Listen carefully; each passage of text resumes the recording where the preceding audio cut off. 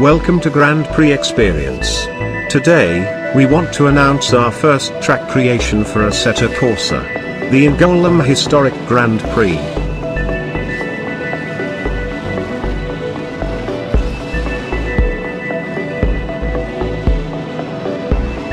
Located in France, its first edition took place in 1939. This city Grand Prix was interrupted by World War II.